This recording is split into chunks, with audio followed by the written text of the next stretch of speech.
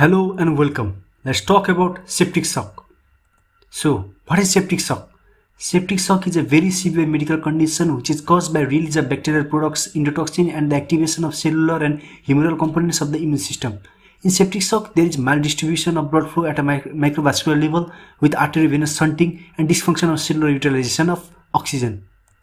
Causes of septic shock. Surgical causes includes major trauma, burn, gas gangrene, abscess, soft tissue infection, peritonitis following gut perforation, strangulation of intestine, gastrointestinal fistulas, biliary and urinary infections, pancreatitis, diabetic wounds, and gas gangrene. Medical causes include endocarditis, meningitis, and pneumonia. Organisms. The organisms are endotoxin producing gram-negative bacteria like E. coli, Klebsiella proteus, and Pseudomonas. Some gram-positive cocci like Clostridium tetani, Wolke, Staphylococci, Streptococci, Pneumococci, and some fungi like Fungemia, and viruses and protozoa. The stages of the septic shock includes hypodynamic, hypodynamic stage and the hypodynamic hypovolemic septic stage. Hmm, pathogens of septic shock. It is given here. You can note from here. The mediators of septic shock. Bacterial endotoxins and products of the cellular and humoral components of immunity like interleukin 1, tumor necrosis factor, nitric oxide complement C3A, C5A, and activation of the coagulation cascade.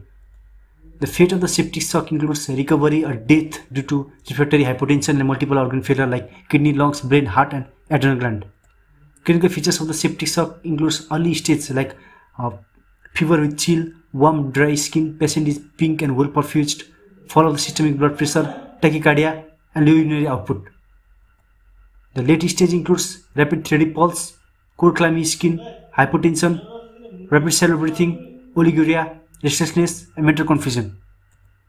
The principle of the treatment is the volume resuscitation, early antibiotic administration, rapid source identification and control, and support of measured organ dysfunction.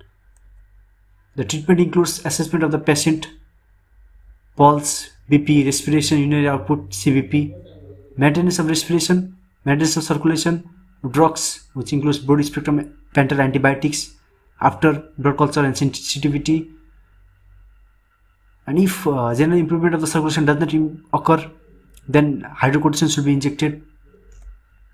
And thorough surgical toileting for excision of the dead tissue drainage of the pus and surgery for intravenous sepsis can be done. Tetanus prophylaxis and continuous monitoring should be done for pulse bp respiration and urine output. End of the topic